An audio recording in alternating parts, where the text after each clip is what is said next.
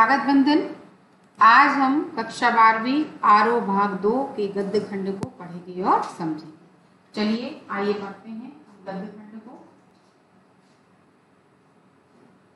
जैसे कि आप देख रहे हैं, ये है गद्य खंड और काले मेघा पानी। ये गद्य रचना धर्मी भारती जी के जीवन परिचय को पढ़ेंगे और समझेंगे।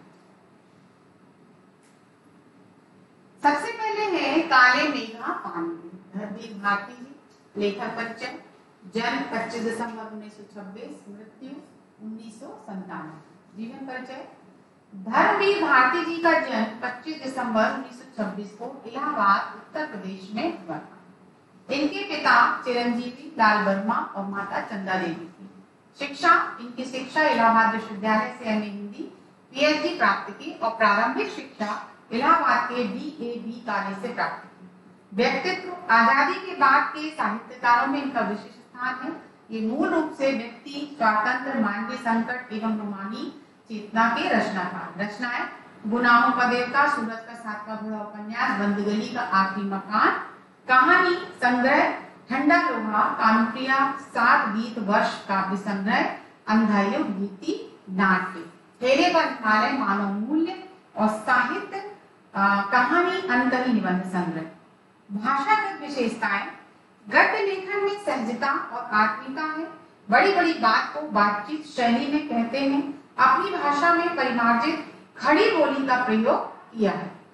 भावात्मक, समीक्षात्मक वर्णात्मक शैलियों का प्रयोग करते हैं। सामाजिक एवं मनोवैज्ञानिक समस्याएँ इनकी रचनाओं में जीवंत रूप से दिखाई पड़ती हैं। साहित्य में स्थान, पद्मश्री, व्यास सम्मान एवं साहित्य के कई अन्य राष्ट्रीय पुरस्कार व्यास सम्मान संगीत नाटक अकादमी पुरस्कार से पुरस्कृत किया गया। है चलिए, आगे बढ़ते हैं। ये है पाठ का सारांश। क्या है ये पाठ का सारांश? काले मेघा पानी दे के माध्यम से लेखक ने वर्णन किया। किया है कि ग्रीष्म ऋतु के पश्चात आषाढ़ का आधा महीना बीत जाने पर भी वर्षा का नामो निशान नहीं है। अतः काली मेघा को बुलाकर वर्षा कराने के लोक प्रचलित अंधविश्वास के तहत गाँव के 10-12 से 16-18 वर्ष की लड़की सिर्फ़ लंगोटी या जांघिया पहने गाँव की गलियों में घूमते जयकारा लगाते हैं। बोल गंगा मैया की जय जयकारा सुनते ही लोग अपने घरों से निकलकर देखते हैं।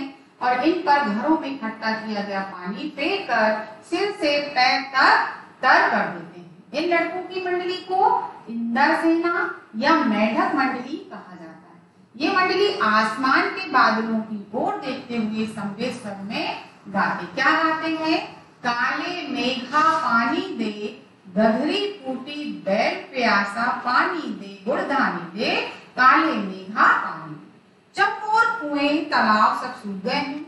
नलों में भी पानी कम आता है। जानवर प्यासे मरने लगे हैं।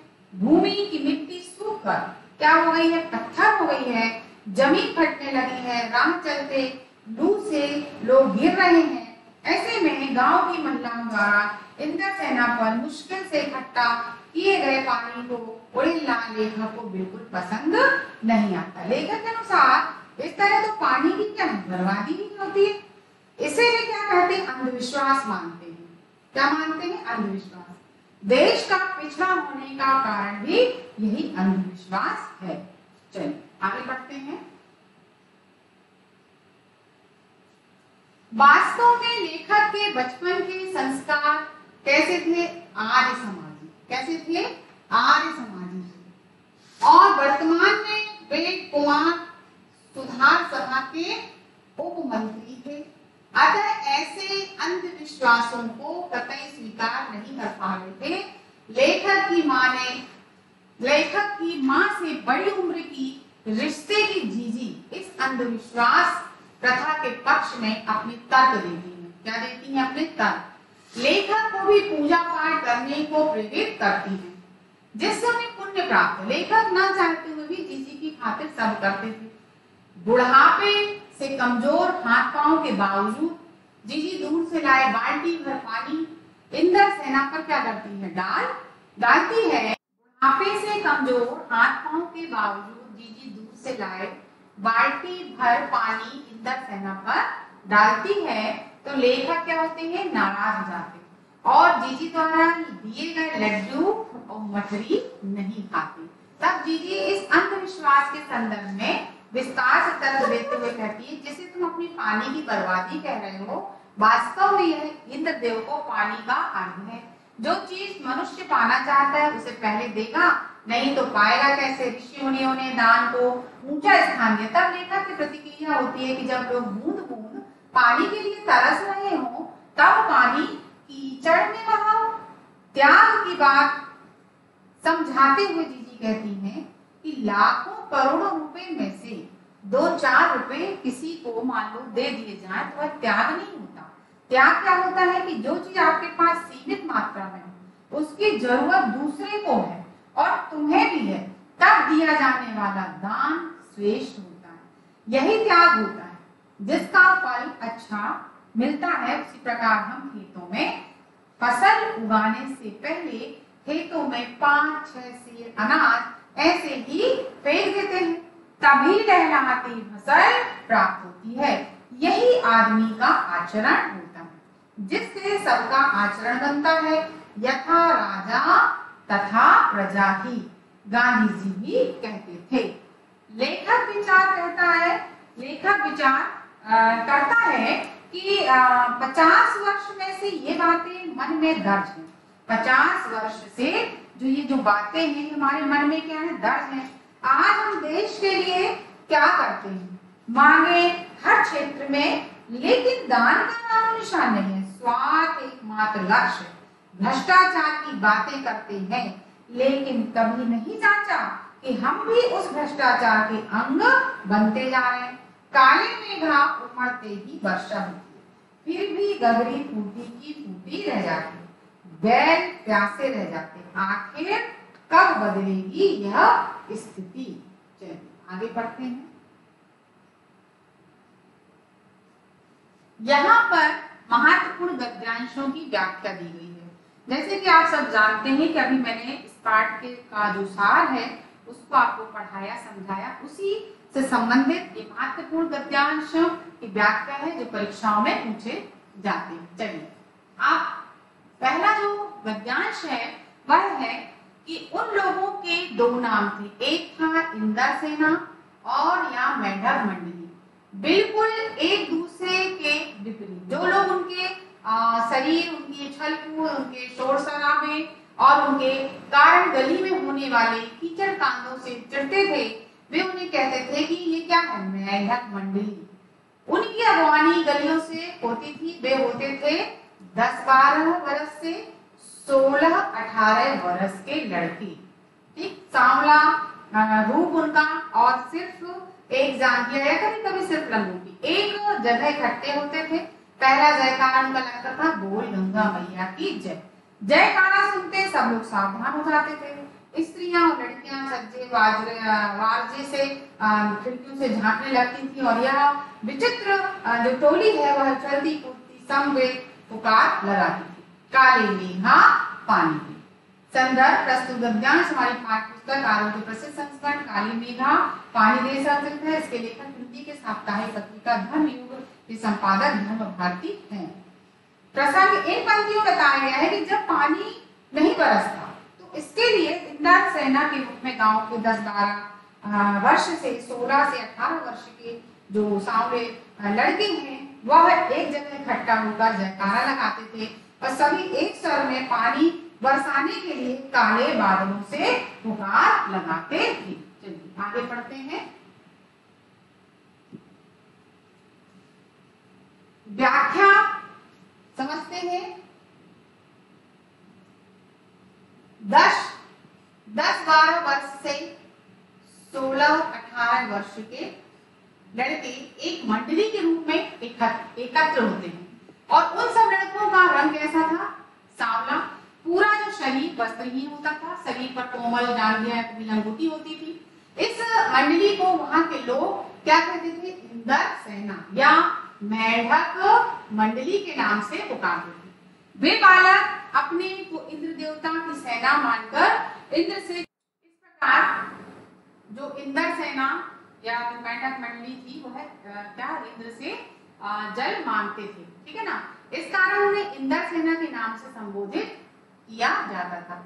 इसके विपरीत उन्हें मेढक मंडली भी कहते थे, क्योंकि उनका जो शरीर मतलब जो थे, वो कपड़े नहीं पहने होते थे, जिस प्रकार मेढक जल व पृथ्वी पर कुदरता व उसी प्रकार जो बालक थे उनका भी जो समूह था वो उछल शोर है ना करते गलियों में घूमता था। लोगों के द्वारा उन पर पानी फेंकने से गलियों में कीचड़ हो जाता था। और इस कारण से उनकी जो तुलना है वो किससे, लोग करते थे मेढक से करते हुए उनको। मेढक मंडली के मतलब कहते थे। वे सब बालक एक स्थान पर एकत्रित होकर बोल गंगा मैया की जय का नारा सामूहिक स्वर से लगाते थे। वैसे ही सारा जनसमूह सचेत हो जाता, क्योंकि गलियों में उनके द्वारा क्या होता था? कीचड़ के कारण लोग उनसे क्या होते थे? चिढ़ते थे।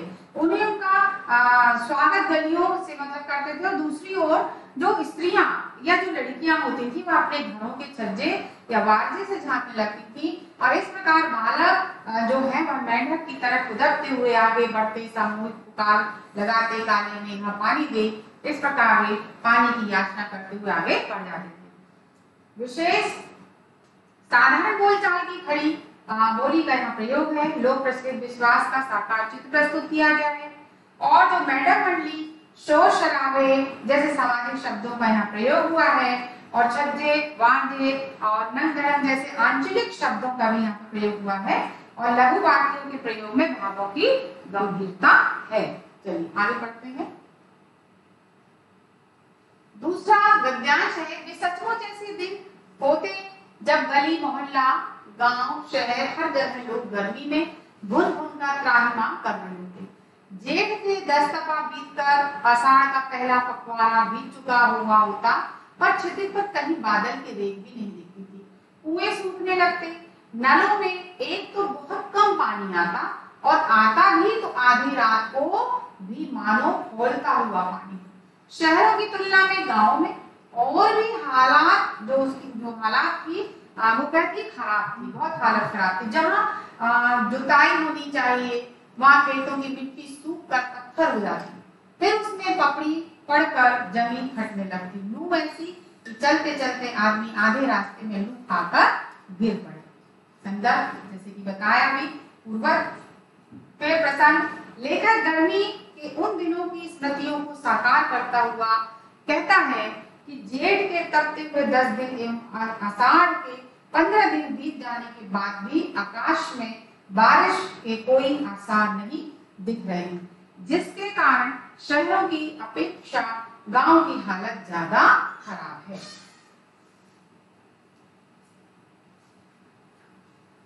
व्याख्या, लेखक अपनी किशोर अवस्था किशोर अवस्था के दिनों को याद करते हुए कहते हैं कि जेठ मास के तब तो दस दिन बीत गए, यहाँ तक कि अचार माह के पंद्रह दिन बीत गए। इन दिनों हर गली, हर मोहल्ला, गाँव हो या शहर सब चिलचिलाहट वाली तेज गर्मी से क्या है, तप रहे लोग गर्मी से भूंजे जा रहे थे, चारों गर्मी का साम्राज्य था, परंतु कहीं दूर छत्तीसगढ़ भी बादल तो क्या बादलों की रेखा दिखाई नहीं देती थी?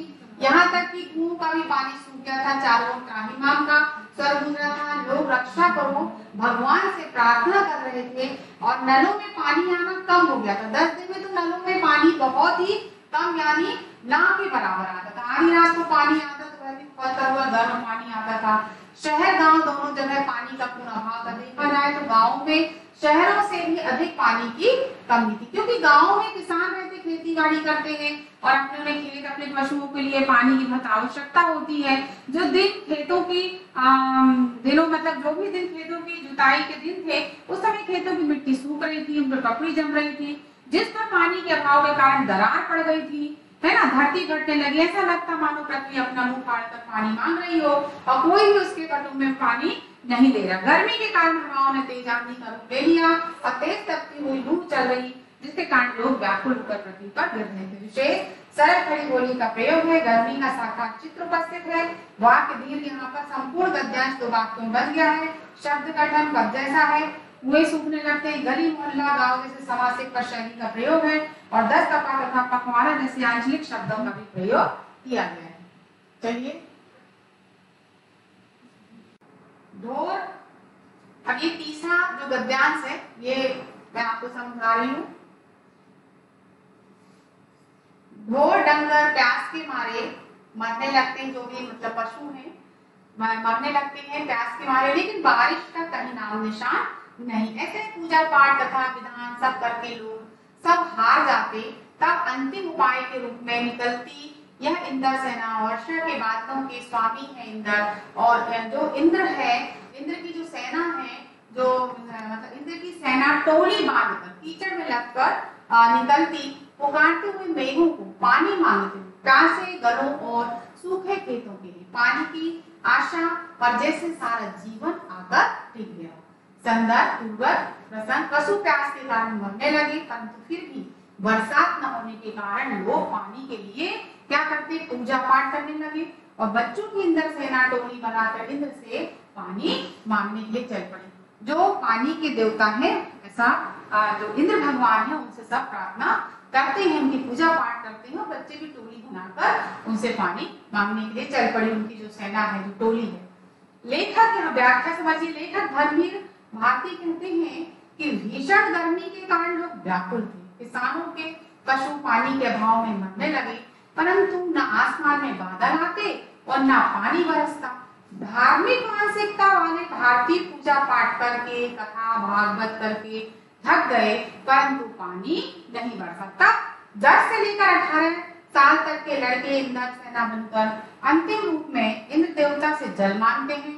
इंद्र की सेना जो बच्चे हैं, जो सेना है, वह कीचड़ में लटपट थी। इंद्र इंद्र सेना बादलों को ज़ोर ज़ोर से पुकारती हुई कहती, काले मेघा पानी यह बालक अपने को इंद्र की सेना मानते और इंद्र से ही जल मांगते थे। लोग उन्हें द्वार पर आने पर पानी से तर कर देते थे वे ज़मीन पर पड़े पानी और कीचड़ में लोट लोट कर कीचड़ में लत हो काटे काले मेघा पानी जिससे लोगों की तथा पशुओं की प्यास बुझ जाए और सूखे खेतों की मिट्टी क्या हो जाए गीली हो जाए। तो किसान जुताई का काम करे चारों ओर पानी के अभाव में हाहा मतलब मच गई हाहाकार हो रहा था, उसे देखकर ऐसा लगता था मानो पानी ही संसार था जीवन के समस्त काल पानी पर ही आकर रुक जाते थे। कहा भी जाता है कि जल ही जीवन है। यह उक्ति पूर्ण रूप से सार्थक हो रही विशेष सरल खड़ी बोली का प्रयोग हुआ है। अंधविश्वास में जनमानस का विश्वास देखा है ढोल डंगर पूजा पाठ जैसे सामासिक शैली का प्रयोग है। हार जाना जैसे मुहारों का प्रयोग है। और ऋणात्मक शैली का प्रयोग भावों को अभिव्यक्ति करने में सक्षम है। इस प्रकार यहाँ पर मैंने आपको आ, ये जो गद्य खंड है आ, आपको पढ़ाया समझाया। आप इसको बहुत अच्छे से समझेंगे और इसके प्रश्नोत्तर को हम और पढ़ेंगे और जानेंगे आगे की क्लास में। तब तक आप इसको अपनी कॉपी में लिखिएगा और याद करिए। धन्यवाद